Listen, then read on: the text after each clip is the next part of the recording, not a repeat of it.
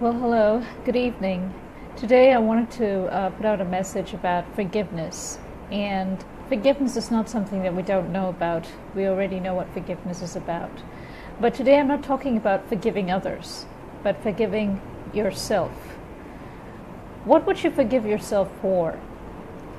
A lot of times we tend to think that, you know, um, whatever we need to forgive has something to do with the outside, the environment of people, that it's they who need that forgiveness, or we need to ask for forgiveness.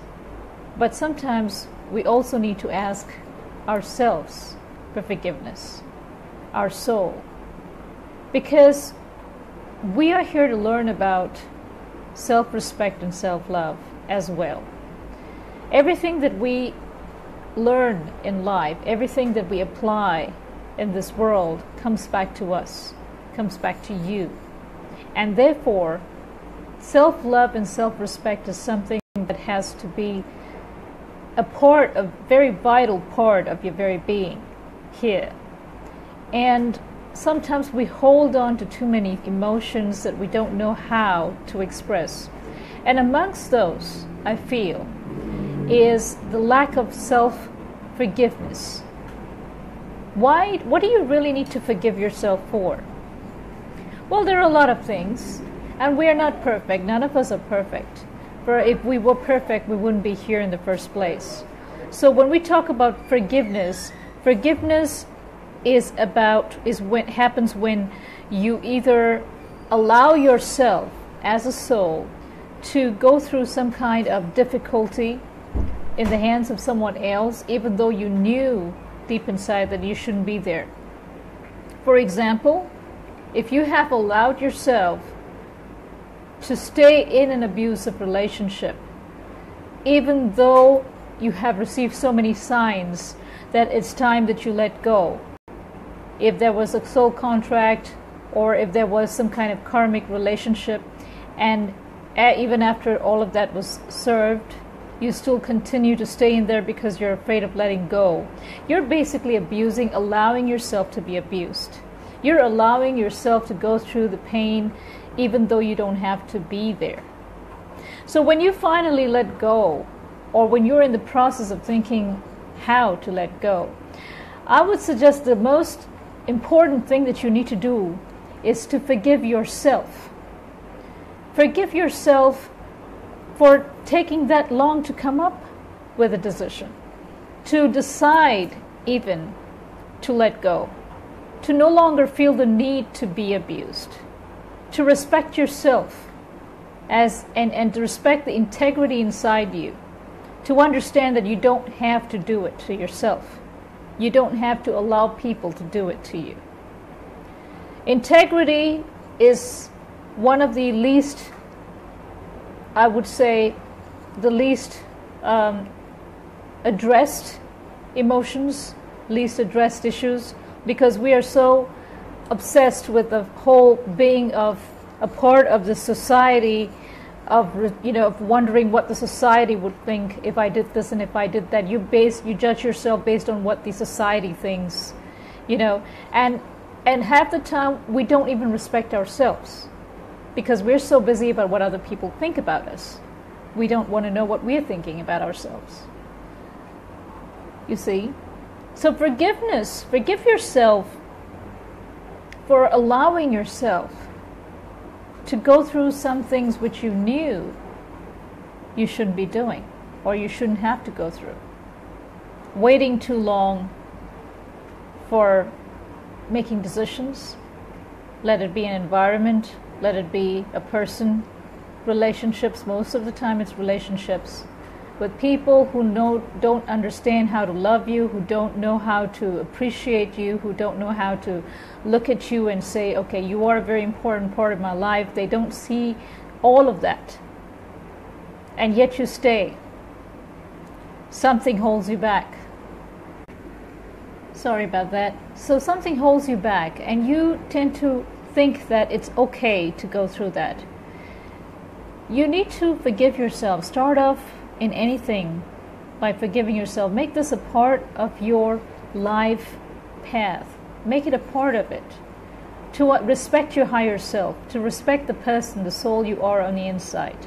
And that is when you will realize that as you move on, that peace of mind that you feel inside from forgiving yourself would be immense.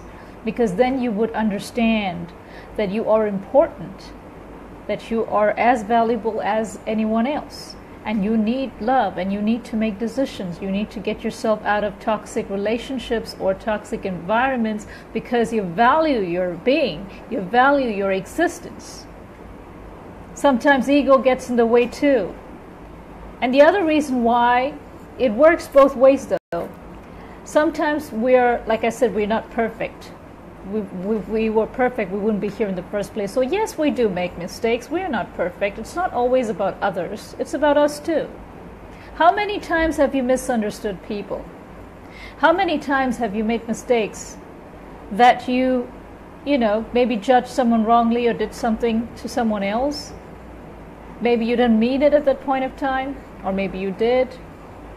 We do do things in our lives we're not very proud of, but we may may not may, we may not understand how much it would have hurt someone else at a different point of time. But when you do realize it, you have to forgive yourself for what you did. Forgive yourself. Because without that forgiving yourself, you will not be able to move on in life. That, that, that, little, that little scar inside you, which you actually inflicted on someone else, but you carry a shadow of that scar because you inflicted it. So you have to remove that shadow before you move on. Because right deep inside your subconscious mind, you will never forget that you did that. It will always keep you know, it'll just keep going around circles in your mind. You may not remember it all the time, but it certainly would be a part of you. So a good thing to do is would be to forgive yourself for things that you have done to others and for also for allowing yourself to become what others wanted you to become. Forgive others as well as forgive yourself, but start from inside you because that is what will actually pave the way for forgiving others. When you forgive yourself first, it opens up doors which has never been opened before. You need to heal before you heal through others. Before you heal others, you need to heal yourself. So even if you played the role of a victim in an abusive relationship, you have to forgive yourself for having gone through that. Accept the fact that, yes, I went through this and I forgive myself for allowing that to happen because it could have been karmic at some point of time. Usually, abusive relationships could be karmic or soul contracts, but sometimes we just allow it to go way further than it was even intended to be. If you feel there is pain inside you, from a relationship of the past, from any incident of the past, you need to look deeper inside you and ask yourself Did you forgive yourself for this? Did you look at yourself as a soul who has gone through pain or who has inflicted pain of some kind? And you need to let go of that. Always get to the root of a problem and not just heal superficially it's very easy to say, oh, well, you know, I forgive myself for this, I forgive that person. But are you able to go back and tell that story without feeling angry or sad? The day you can do that is when you have really forgiven. The day you have you're able to tell your story without shedding a tear or feeling any kind of frustration, anger, that's when you have completely healed. Until then, it still remains. And it's not necessary for you to heal overnight. What's more important is the quality of the healing and not how fast you do it. I hope this message reaches out to a lot of you because I think that each one of us needs to go inside first and heal and forgive ourselves before we even move on into other relationships, into any aspect of life from now. God bless you and thank you so much. Namaste.